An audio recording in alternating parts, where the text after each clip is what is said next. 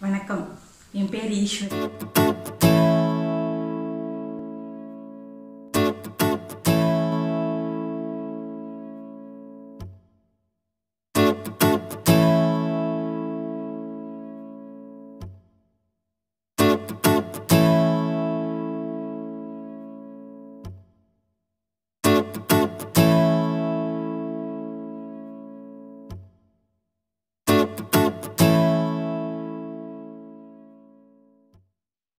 கொஞ்ச நாளைக்கு முன்னாடி நான் வந்து பிளாக்ல வந்து சில விஷயங்கள் அக்குபஞ்சர் ஆன்மீகம் அப்படின்னு சொல்லி தலைப்பில் நிறைய விஷயங்கள் சொல்லியிருந்தேன். இப்போ வந்து யூடியூப்ல உங்ககிட்ட பேசுறதுக்கு நிறைய விஷயங்களை பகிர்ந்துக்கிறதுக்காக வந்திருக்கிறேன். என்ன நான் இந்த இதில் வந்து பேச போகிறேன் அப்படின்னா நிறையா விஷயங்கள். அக்குப்பஞ்சர் வந்து அக்குப்பஞ்சர் எப்படிலாம் வேலை செய்யும் அக்குப்பஞ்சர்னா என்னன்னு என்னுடைய பிளாக்ல கொடுத்துருந்தேன். ஆனால் நான் இப்போ என்ன செய்ய போகிறேன் அப்படின்னா இடப்பட்ட காலங்களில் நான் நிறையா வந்து அக்குப்பஞ்சர் கிளினிக் வச்சு நோய்களை குணப்படுத்தினேன் குணப்படுத்தின எப்படி குணப்படுத்தினேன் எப்படி அது எல்லாருக்கும் ட்ரீட்மெண்ட் பண்ணேன் அந்த மாதிரி விஷயங்களை பற்றி உங்க கூட ஷேர் பண்ண போகிறேன் ஆன்மீகம்னா என்ன? நிறைய பேருக்கு ஆன்மீகம்னா நிறைய தவறுதலான கருத்துக்கள் வச்சுருக்காங்க. ஆன்மீகம்னா என்னமோ அப்படின்னு. அதுனா என்ன? அது மாதிரி நிறைய குழப்பங்கள் நிறைய ஸ்ட்ரெஸ்ஸு ஒரு ஒரு என்னுடைய லைஃப்பில் நான் என்னெல்லாம் பார்த்தேன் இது வரைக்கும் என்னெல்லாம் பார்த்து வந்திருக்கேன் அதில் எதெல்லாம் எடுத்துக்கிட்டேன் எதெல்லாம் எடுக்கக்கூடாது அதனால் என்ன நன்மைகள் அடைஞ்சேன் இந்த மாதிரி நிறைய விஷயங்கள் உங்களோட நான் பகிர்ந்துக்கிடும் போது நீங்கள் கேட்கும்போது அது உங்கள் லைஃப்பில் எனக்கு நடந்த மாதிரி நிறைய விஷயம் உங்களுக்கு நடந்திருக்கலாம் நிறைய குழப்பங்கள் இருக்கலாம். ஸோ நான் சொல்கிற மூலி மூலியமா உங்களுக்கு நிறைய நிறைய ரிலீஃப் கிடைக்கலாம். ஸோ உங்களுக்கு நீங்க ரிலீஃப் கிடைக்குது நீங்க ஒருத்தர் என்னை எதை பார்த்து சரியாகிறீங்க அப்படின்னா அதை விட ஒரு சந்தோஷம் எனக்கு எதுவுமே கிடையாது. ஸோ அதுக்காக தான் நான் வந்து இந்த யூடியூப்ல வந்திருக்கிறேன். இதுல நிறைய விஷயங்கள் பேசலாம். நம்ம அன்பை பத்தி பேசலாம். அன்பு அன்பை நிறைய பேர் வந்து ஆன்மீகத்திலேயே நல்ல விஷயங்களை பேசுறதுக்கு இன்னைக்கு வாட்ஸ்அப்லயும் சரி யூடியூப்லயும் சரி நிறைய பேர் வந்து பேசிட்டு இருக்கிறாங்க.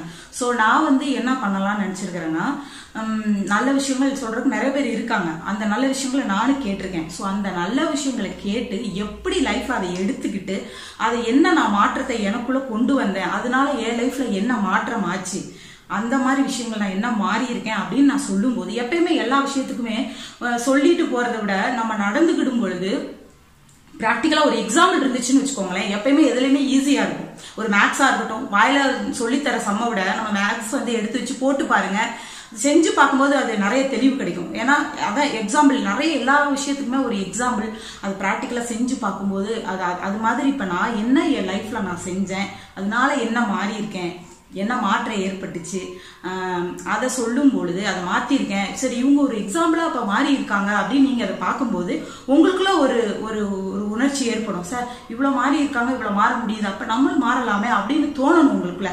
அது தோணணுங்கிறதுக்காகவே என்னுடைய வாழ்க்கையில் நடந்த நிறைய உண்மை சம்பவங்கள் அதாவது நம்ம நிறைய புக்ஸ் படிக்கிறோம் நிறைய தெரிஞ்சுக்கிறோம். அது வேற விஷயம் அது அறிவு. ஆனால் அது ப்ராக்டிக்கலாக கொண்டு வந்து நம்ம என்ன பண்ணோம்? அதை நான் என்ன என் லைஃப்பில் பண்ணியிருக்கிறேன்? என்னெல்லாம் நான் கண்ணில் பார்த்தேன்? அதெல்லாம் அந்த மாதிரி விஷயங்களை நான் ப்ராக்டிக்கலாக சொல்லும் பொழுது நீங்கள் அதெல்லாம் பாருங்க என்னெல்லாம் மாறி இருக்கிறாங்க அப்படின்னு பாருங்க. பார்த்துட்டு அதை நீங்களும் அதே மாதிரி நிறைய விஷயங்களை என்ன பண்ணலாம் சேஞ்ச் பண்ணலாம் இப்போது ஒவ்வொருத்தருடைய லைஃப்லையுமே ஏகப்பட்ட மாற்றங்கள் ஏற்படும். கண்டிப்பாக எல்லாருமே சந்தோஷமா இருக்கலாம். சிரிக்கணும் அதுதாங்க மேட்ரு சிரிக்கிற இதில் இருக்கிற பெரிய விஷயம் எதுலையுமே கிடையாது. ஸ்மைலிங் வந்து அவ்வளோ பெரிய விஷயம். அதனால நம்ம எல்லாருமே வாழ்க்கையில சிரிக்கணும். நிறைய பேர் சிரிக்க முடியாம என்ன தெரியாம குழம்பி போயிருக்கிறோம். ஸோ திருப்பி எல்லாரும் சிரிப்பு கொண்டு வரணும் சிரிக்கணுங்கிறக்காகவே நான் நிறைய விஷயங்களை பேசணும். அதனால அக்குப்பஞ்சரில் நான் பண்ணும்போது ஏற்பட்ட அனுபவங்கள். வாழ்க்கையில் சில கஷ்டங்கள் ஏற்படும் போது ஏற்பட்ட அனுபவங்கள் இந்த மாதிரி எனக்கு மட்டும் கிடையாது. பார்த்துட்டு இருக்க ஒவ்வொரு வீவர்களுக்குள்ளேயும் ஒவ்வொரு மனிதர்களுக்குள்ளேயும் எல்லாருக்குள்ளேயும் கஷ்டங்கள் இருக்கும். அந்த கஷ்டங்கள் வந்து தீர்ப்பு என்ன பண்ணலாம்னு தெரியாம தான் எல்லாருமே வழி கிடைக்காம இருப்பாங்க. ஸோ வந்து நான் இப்போ பேசுறது மூலியமா அவங்களுக்கு நிறைய விஷயங்கள் கண்டிப்பாக தெளிவு ஏற்படும். நிறைய பேசணும் அப்படின்னு நினச்சி தான் நான் இதுக்குள்ளே வந்திருக்கிறேன் நேர்களே. அதனால எல்லாரும் பாருங்க பார்த்துட்டு ரைட் ஓகே இவங்க நல்லா பேசுறாங்களே இவங்க நல்லா இது பண்றாங்களே அப்படி நல்லா பண்ணலையே இதை பத்தி இது பத்தி சொல்ல வேண்டியதில்லை. அதாவது என்ன நம்ம அதுல இருந்து எடுத்துட்டோம் என்ன கருத்து அவங்க இன்னைக்கு சொன்னாங்க அதுல இருந்து நமக்கு ஏதாவது யூஸ்ஃபுல் ஆச்சா? அது மாதிரி நம்ம மா மாற்றம் அடைஞ்சா நமக்கு எப்படி இருக்கும் லைஃப்ல எல்லாருக்குள்ளேயும் ஒரு சேஞ்ச் ஏற்படும் அப்படி நினைச்சுதான் ஒவ்வொருத்தருமே பேசுறாங்க. இப்ப ஸ்ரீ சிவாயாவா இருக்கட்டும் இன்னைக்கு பாஸ்கரையாவா இருக்கட்டும் நிறைய பேர் இருக்காங்க. ஆனா நிறைய பேர் ஒருத்தர் உடம்ப பத்தி சொல்றாங்க. ஒருத்தர் வந்து மனசை பத்தி சொல்றாங்க. சோ நம்ம உடம்பையும் மனசையும் நல்லா வச்சுக்கணும். அதுதான் மெயின் நம்ம அதுக்கு தான் வந்திருக்கிறோம். ஸோ அதை பற்றி நம்ம நிறைய பேச போகிறோம் உடம்பு மனசு ரெண்டு ரெண்டுமே ரெண்டுமே எப்படி இயக்கலாம் ரெண்டையும் எப்படி நல்லா வச்சுக்கணும்.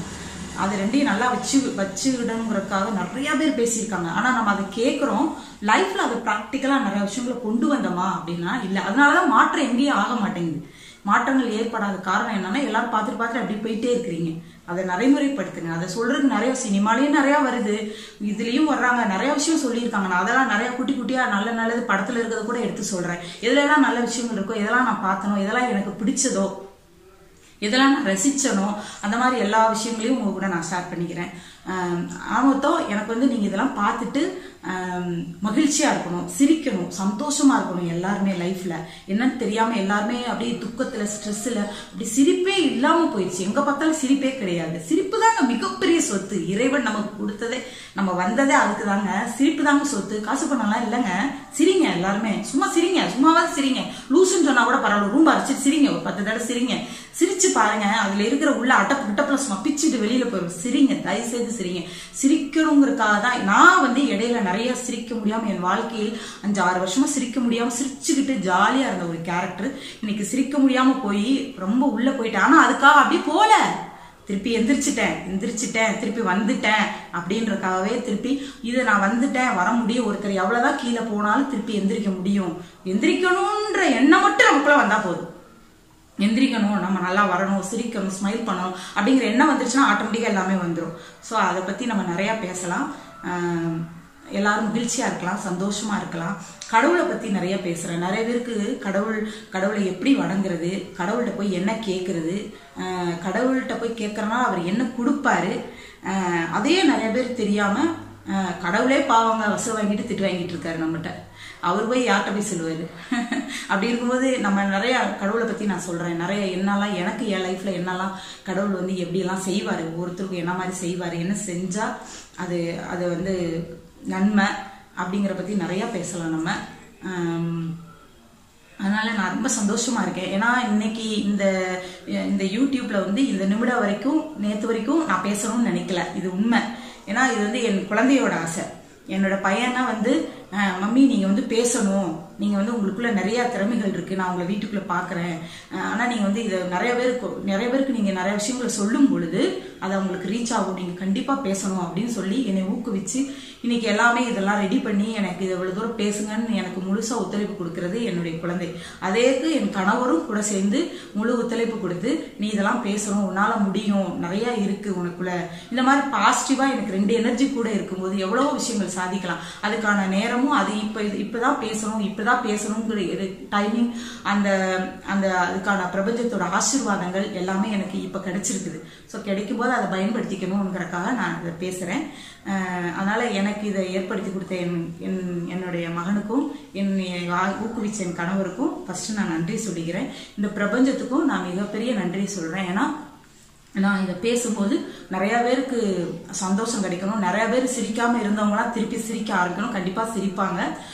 அந்த நம்பிக்கை எனக்கு ஃபுல்லா இருக்கு. அந்த அந்த ஒரு ஃபுல் பாசிட்டிவ் இதோட தான் நான் உள்ள இப்போ உட்காந்து பேசிட்டு இருக்கேன். உள்ள இருந்து பேசுறேன். சும்மா ஏதோ படிச்சுட்டு எழுதி வச்சுட்டு மனப்பாடம் பண்ணிட்டு இல்லை இதுல இருந்து படிச்சு எடுத்துட்டு அப்படிலாம் பேசலங்க அனுபவமான வாழ்க்கை அனுபவபூர்வமான விஷயங்களை உள்ள இருந்து அப்படி உள்ள இருந்து பேசிட்டு இருக்கேன். ஸோ கண்டிப்பா எல்லாருக்கும் ரீச் ஆகும். எல்லாரும் பாருங்க. எப்பயும் ஸ்மைலிங் ப்ளீஸ் ஸ்மைல் ரொம்ப நன்றி.